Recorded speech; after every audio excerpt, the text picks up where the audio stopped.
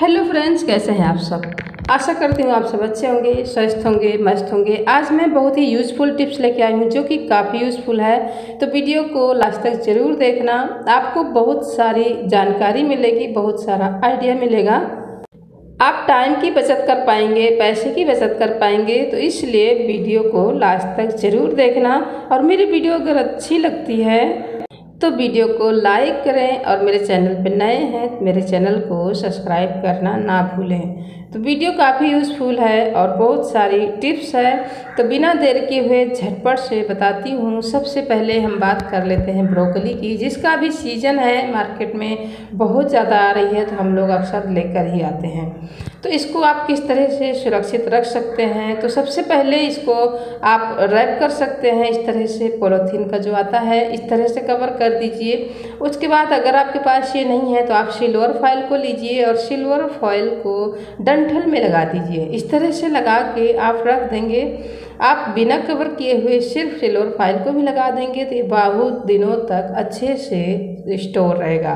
बिल्कुल भी ख़राब नहीं होगा। सेकेंड ट्रिप की बात आती है जो हम ये डिब्बा लेके आते हैं। बच्चे होते हैं, पीडियाश्योर का डिब्बा तो हमारे घर में आता ही है और ये बहुत ही मज़बूत होता है, इसको हम ऐसे ही फेंक देते हैं। ये काफ़ी यूज़फुल है। इसको आप इस तरह से कट कीजिए, इसमें तीन निशान लगा दीजिए, दो निशान लगा दीजिए, जितना आपको चाहिए, इस तरह से हमने इसको काट लिया है।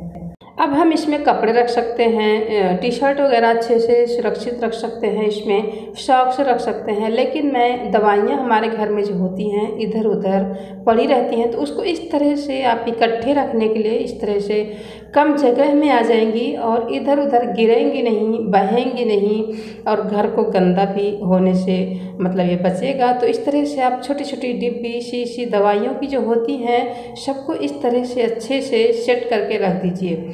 छोटी सी जगह में बहुत सारा सामान भी आ जाता है, देखने में भी अच्छा लगता है और ये सुरक्षित भी रहता है। आप इसे उठाकर कहीं भी रख दीजिए, किसी कोने में, साइड में डाल दीजिए, आपको जब ज़रूरत है तब आप इसे यूज़ कीजिए। अब हम बात करते हैं थर्ड ट्रिप की, जो कि हमारी दालें होती हैं तो इसमें बड़ी जल्दी से सर्दी लग जाती है, नमी आ जाती है, कीड़े लग जाते हैं तो इस तरह से आपको लहसुन लेना है, जो इसका लहसुन है ख़राब वाला, उसको निकाल कर फेंक दीजिए और जो अच्छी कलियाँ होती हैं, उनको इस तरह से तीन चार पीस निकालिए और डाल दीजिए। आप साबुत भी इसमें डाल सकते हैं तो इस तरह से अरहर दाल है, हमारी ये मूंग दाल है, जो कि लंबे टाइम से रखी हुई है तो इस तरह से ये स्टोर रहती है।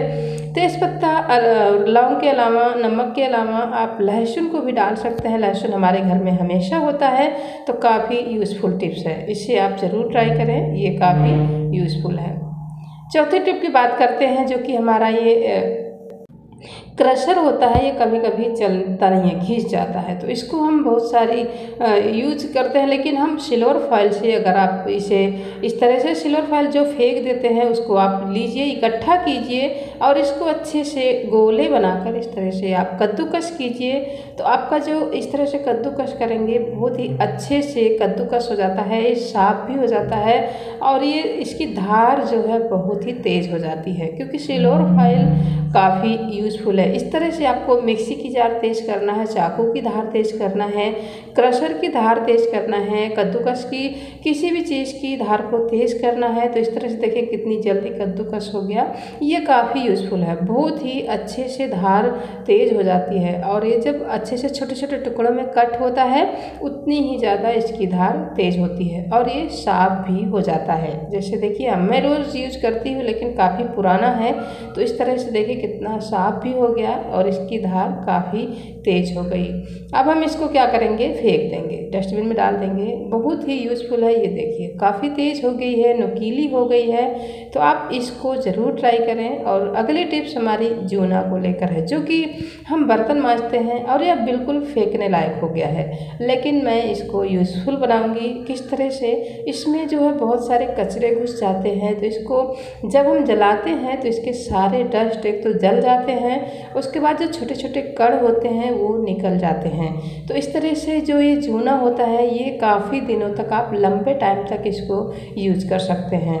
थोड़ा पुराना हो गया है तो इस तरह से आप इसे जला दीजिए ये फिर से काम करने लगता है, बहुत ही साफ़ हो जाता है, कड़क हो जाता है, क्योंकि आप जब इसे जलाएँगे तो काफ़ी बदबू आएगी। जो भी इसमें कचरा होता है वो सारा जल जाता है तो बहुत क्लीन हो जाता है, साफ़ भी हो जाता है और यूज़फुल हो जाता है। तो देखिए, थोड़ी देर भी, सेकंडों में ही ये बस ठंडा हो गया। अब इसके हम सारे कचरे जो है, इसको हम इस तरह से झाड़ देंगे। सारे कचरे जल गए, जो भी बचे इसमें छोटे छोटे कण गिर गए। ये बहुत ही यूज़फुल होता है, इसको आप ज़रूर ट्राई करना। अगली टिप्स हमारी कैबेज हो गई फूल गोभी, पत्ता गोभी, ब्रोकली, सारी सब्ज़ियाँ आती हैं। ब्रोकली में भी कीड़े पड़ जाते हैं। कैबेज में भी छोटे छोटे कीड़े होते हैं और गोभी में भी। तो इन सब्जियों को जब हम काटते हैं तो इसको किस तरह से हमें इनकी सफ़ाई करना है? क्योंकि इन्हें उबालेंगे तो इनका टेस्ट ख़राब हो जाएगा और काट के जब हम डायरेक्ट बनाएँगे, तब भी इसमें कीड़े रह जाएँगे। तो हमें लेना है थोड़ा सा गुनगुना पानी और इस तरह से बड़े बड़े पत्तों को हमें वाश लेना है। इस तरह से धुलेंगे तो ये सारे गुनगुने पानी में आपको इस तरह से डुबोना है और फिर इसे निकाल लेना है। पतले पतले पट्टे पत्ते जब होते हैं तो इसके सारे कीड़े मकोड़े जो भी होंगे, वो अपने आप निकल जाएँगे। ज़्यादा खौलता हुआ पानी भी नहीं चाहिए और गुनगुना पानी होगा तो कीड़े भी मर जाएँगे और सब्ज़ी का टेस्ट जो होगा वो भी ख़राब नहीं होगा। क्योंकि जब हम उबले पानी में डालते हैं तो ये बिल्कुल पक जाता है। तो इसमें जब हम बनाते हैं तो इसमें पानी जो है छूट छूट जाता है। जैसे कि सब्ज़ियाँ पकती हैं तो थोड़ा गीली हो जाती हैं तो बिल्कुल भी गीला नहीं होता है। इसलिए आप जब भी सब्जियों को काटें, गुनगुने पानी में इस तरह से आप इसे बस छोड़ के बस तुरंत निकाल लेना है। कीड़े जो होते हैं वो अपने आप चले जाते हैं। बिल्कुल भी बिना टेंशन लिए आप इस तरह से इसको ट्राई कर सकते हैं। ये काफ़ी यूज़फुल है। तो वीडियो हमारी कैसी लगी, मुझे कमेंट करके ज़रूर बताना। और कुक वेजित मंजू में बस आज के लिए इतना ही। अब मिलूँगी नेक्स्ट वीडियो में। तब तक के लिए स्वस्थ रहें, मस्त रहें, अपना ख्याल रखें। वीडियो देखने के लिए आपका बहुत बहुत धन्यवाद।